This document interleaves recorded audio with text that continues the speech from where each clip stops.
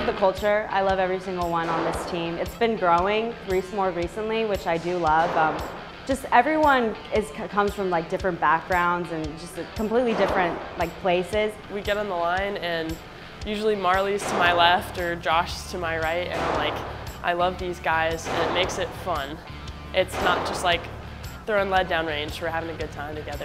And I know a lot of the shooters on the other team, so it's really just kind of like a friendly competition. There is definitely pressure, you know, we want to win again. I think the number one thing for sure is consistency and kind of going into every match with that kind of mindset of, of just calmness and trying to win for the team, not just for myself. It's really hard to stay focused and in that mindset of of, of kind of like doing your process over and over again for 60 shots and 120 shots because we shoot, we shoot two times.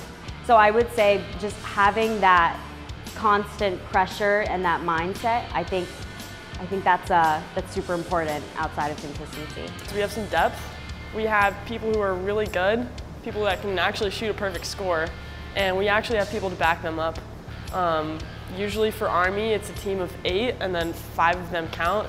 So having people that can back up that score is, I think, one of our strengths. My plebe year, I shot a personal best at the Army match, and it's just like one of my favorite rifle memories that I have. So this is a big deal for me to go back to Army, and I think it's just gonna keep building our culture of how much we get excited to shoot and how excited we are to continue building on our program and how we're doing right now. No matter what happens, I think this is a great team. The coach is great. Everyone, everyone's here to, to win.